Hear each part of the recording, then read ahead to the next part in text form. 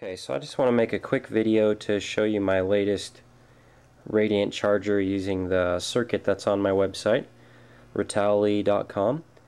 And I really like this layout, and I've seen this done before on one of John Bedini's pages, but that's not why I did it. I just wanted to see how compact I could make this coil and circuit. And I was able to actually fit it into a CD case. So there's a a quad core coil here with four power wires and then a fifth wire for the trigger. The four power wires together makes it much more efficient and the more strands you have for the power wire the better. You run all the wires parallel so you just wind four wires and then you tie them at each end. There's actually not four transistors or even a need for four transistors. You just use the one and it runs all four wires at the same time. And so what you could do here is you hook up this battery. This would be the primary, and this is the charge battery. And this charger charges NiCads very well. This charger is so powerful that it will charge this NiCad battery in about three hours, and the battery actually gets warm. So it's taking a really strong charge with extremely high voltage. And so far, just after the first couple cycles, these NiCads are taking a very good charge, better than with the conventional charger. This particular arrangement with four wires for the power puts out a lot more power than if you just use a single wire. And it has something to do with the skin effect on the wire.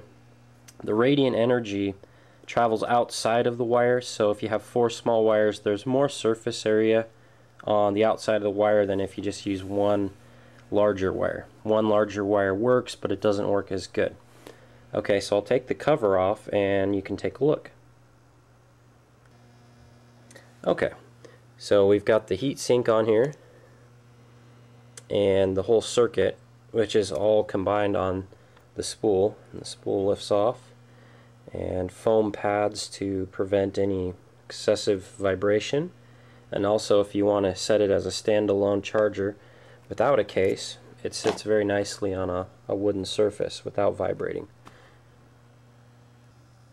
Okay, so I'll hook it up and I'll turn the power all the way up. This is the power adjustment. If you turn it clockwise, it gives it full power. And on these real small batteries, you don't need full power. And I'll go ahead and hook it up and we'll listen to it. Okay, so we're hooked up. The only problem is this charger is so quiet when you're only using 12 volts for the input that you really can't hear it. It's an air core. The air core gives you the most efficiency with the solid state design. With an iron core you just have losses because of the iron. Since there's no mechanical wheel, you're not looking for free mechanical motion with the iron being attracted to the magnets on the wheel. And that's the only reason you use an iron core is because you, you get free mechanical energy as the wheel comes around and is attracted to the iron core. On this you don't need an iron core and it actually harms performance if you use an iron core.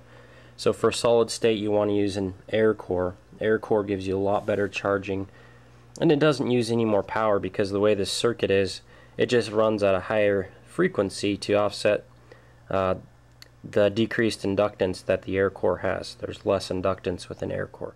Okay, so what I've done is I've rigged up two 12 volt batteries for the input. So that gives us 24 volts. And if you use 24 volts with this charger, you can actually hear it. Puts out enough power that you can actually hear the coil whine. And it runs really good at 24 volts. The way I've designed it, it's optimal at 24 volts for the input.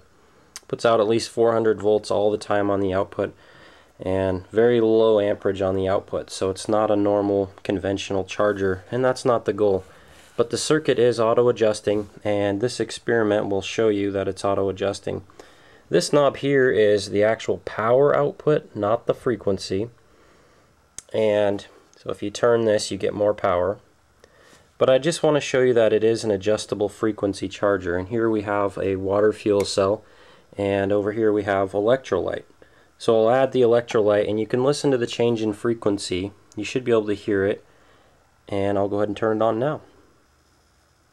Okay, so hook up the 24 volt power.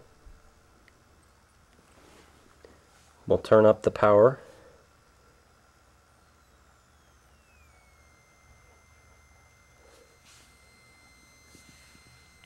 You turn the power down. Turn the power up. Okay, so you can hear it. And we'll start getting hydrogen.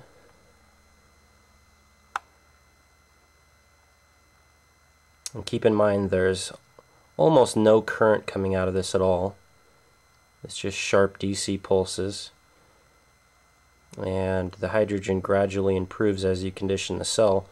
And for every week that you condition it, you get probably double the output. So it takes a very long time to condition, but it is very high voltage and it is a unique form of electrolysis. So this is really fun to experiment with. Now, if you listen to the frequency, I'll go ahead and take this electrolyte and pour it in. So I'll keep the camera down here so you can hear it.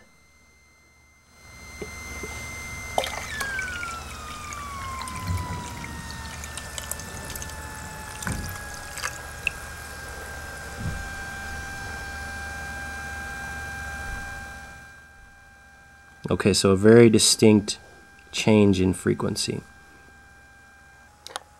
One note to make that's very interesting is the addition of electrolyte to the water produces a different type of electrolysis.